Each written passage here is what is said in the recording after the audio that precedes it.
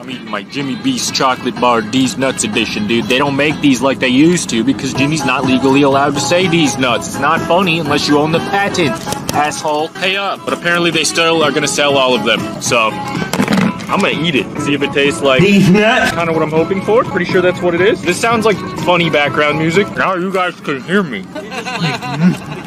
It's pretty good. Damn, dude, it tastes like I'm eating a piece of American history. You guys are gonna be watching. These nuts. You're like, damn, I wish I could have tried that, but you can't because the law used to be stupid. I'm sure they fixed it by then.